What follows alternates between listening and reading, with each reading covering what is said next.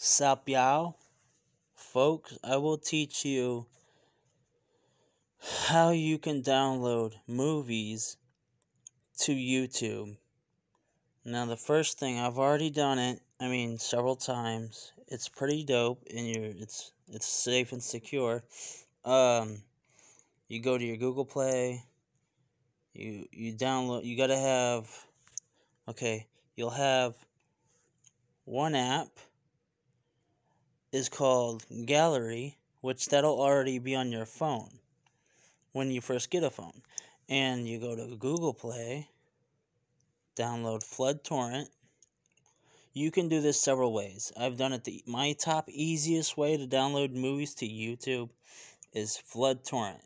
So, as you can see, it's already installed. You just search it up and install it. Then you go here. Then you can uh, go to your search bar here. Search up whatever movie you want. Say you can search up a movie uh, say dragon ball ev or evolution for instance. Yeah that's basically what it's called. Evolution z for instance. Now you can do this with different movies, any any kind of movie you want. And then after that, you'll be able to download. You hold down this, and you could probably do it this way. Okay, I guess you can't. So, then, well, you wait for the movie to download all the way.